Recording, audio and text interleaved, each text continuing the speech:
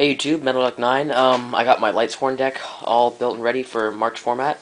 Um, this is going to be my pre-Extreme Victory build, because once Necro Defender comes out, I'm definitely going to change the deck around to play that card, because it's going to be really, really good in Lightsworn. If you guys don't know what it does, I'll post a link in the description on what the card is and what it does. It's basically a really, really nice replacement for the Necro Gardnas we don't have. So, yeah, um, I've been playing Lightsworn for a very long time, for years actually. So, um, I know the deck inside and out, and every format you have to build the deck differently to do well. Like last format, the deck needed a more Celestia-oriented build, but this format, I feel you need more protection in the deck. So, yeah, um, I've been playing it for a long time, so um, I have really good insight into the deck. So I'm going to show you guys how you should be playing it. Got two JDs, of course. This is 42, so I'm playing three wolves. Um, if you're going 40, definitely play two, because three will be really dead. But with 42, you're really not going to dead draw with it too much. So, yeah, I would play three, because like it's the main way Lightsworn pluses, is the wolf mills, and again, with 42, it's really not that bad. Um, two Celestia. Um, with Honest Limited, I don't feel you should run three anymore, because it'll be dead too much, and you want to, you know, you want to have consistency, and I really wouldn't play three anymore. It's just not good. Two Lylas. Um, Lyla should be a two basically for every format. Like two Lyla's fine. It's a it's a plus if you get it off, and if and it baits outs, which is its main job. It's good. Okay.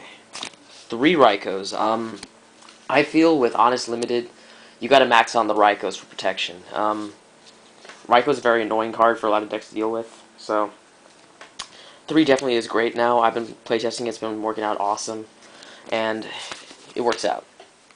One Garoth, you know, beater, drawer. One Jain, beat stick, it's pretty good.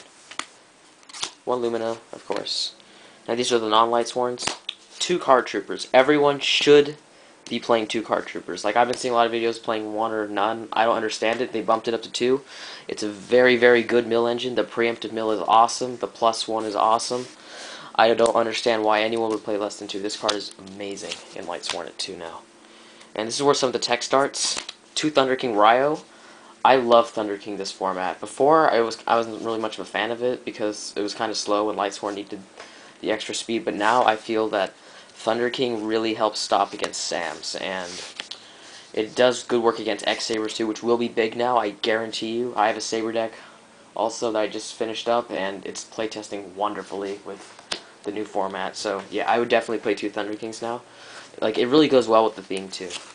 And Glow I really don't understand why people are running Plague Spreader over Glow. Like with Goyo Guardian banned, like Plague Spreader just isn't that good anymore. Like I took it out and I'm just going with the Glow which I find much more useful for level 5s like Catastor or the level 8 with the Lumina play.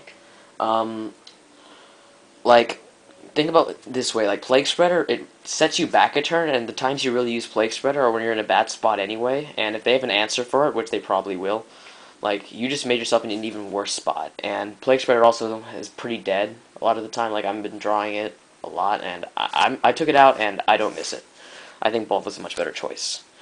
The one honest uh, kind of sucks that they limited it, but you really can't do much about it. Like it's still there a lot.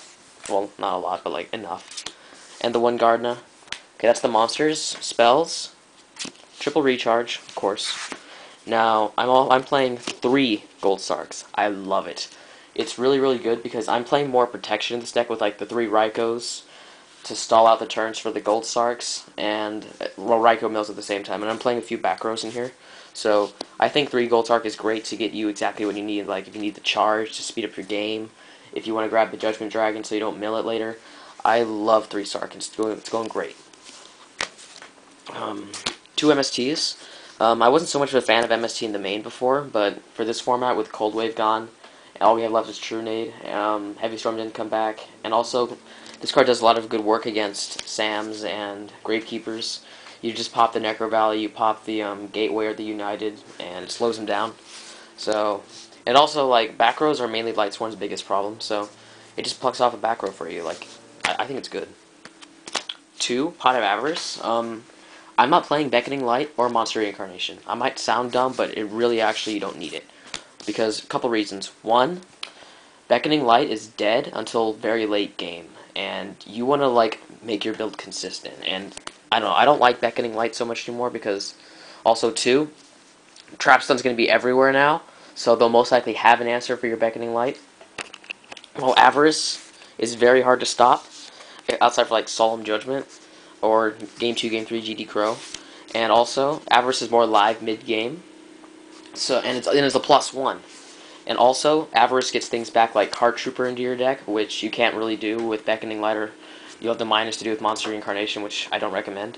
So, Avarice, because Card Trooper is like the engine now, so I love double Avarice right now. It really goes well with what I have for the deck in total.